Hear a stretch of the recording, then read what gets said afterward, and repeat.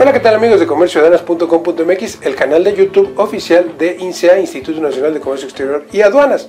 En esta ocasión vamos a hablar de cuánto se le gana a una importación en México particularmente.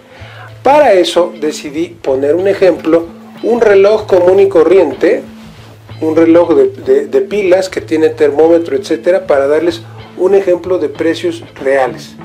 Eh, antes de decirles el costeo como tal, hay que decirles que tienen que importar productos que sean rentables. Hay productos que son rentables y hay productos que no son rentables.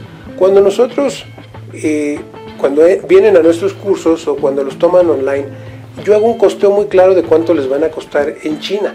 Hay productos que tienen mil por ciento de utilidad. Déjenme eh, ponerles el ejemplo de este reloj que yo mandé a pedir a través de mensajería. como habrán visto en otros videos, esto llega cuando uno se va, lo va a importar en una pieza, pues es diferente a importar un pallet o dos pallets o una cosa de esas. Este reloj costó más o menos 50 centavos de dólar al comprar 10. Eh, el envío venía incluido, obviamente el envío pues tarda años. Eh, el envío gratis eh, se manda a través del correo chino, a veces Hong Kong Post, a veces Singapore Post, y llega al correo mexicano o al correo colombiano o a donde ustedes quieran, al correo postal, me refiero no al correo electrónico.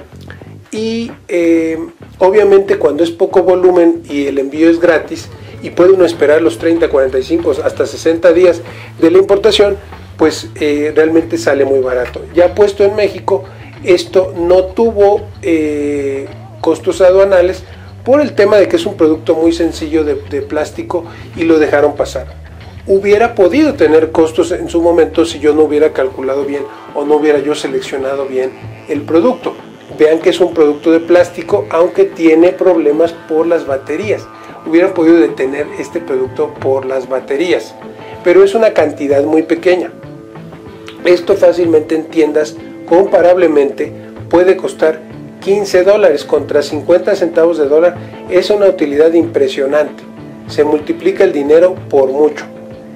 Eh, más de la utilidad normal, que puede ser un 30, un 40, un 50% de cualquier cosa que nosotros comercializamos.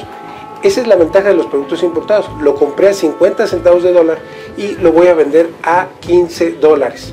Eh, una utilidad impresionante, creo que el 700%, si no estoy mal, o 1400%, una cosa así, no tengo el cálculo exacto, pero ¿cuánto le gané?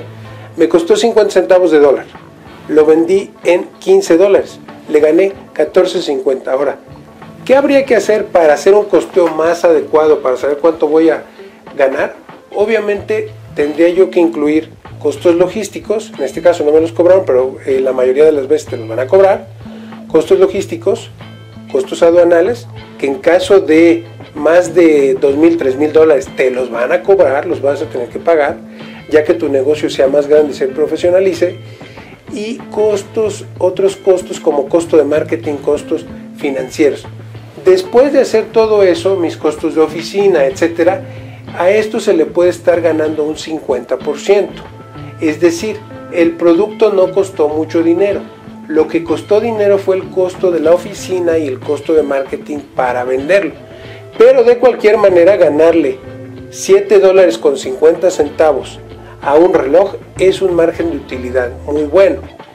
Eh, por lo tanto, cuando ustedes me dicen de cuánto se le gana una importación en México, por lo menos el 50%, por lo menos se le gana el 50%. Pero hay productos, eh, sobre todo productos pequeños a los, a los que les puede ganar 100%, 200%, 500%, 1000%. Yo he comprado cosas de un dólar que en México las puedes vender en 20 dólares, por ejemplo. Entonces, la utilidad depende de qué también hagas tu estudio, de qué también hagas eh, tus cotizaciones, de qué también costes y de que tengas muy bien tu desglose de costos. Ahora, el ser pequeño importador es un costeo, el ser gran importador es otro costeo diferente. Entonces, recuerda que tenemos muchos cursos para poder lograr eso ya con detalle, ya en tu producto, tanto en Ciudad de México presenciales, para una persona, para un pequeño importador o para grandes importadores si estás por entrar al departamento de comercio exterior. Déjanos tu correo electrónico, tu WhatsApp en la caja de comentarios y te enviaremos toda la información de nuestros cursos. Nos vemos en una próxima ocasión aquí en comerciodanas.com.mx.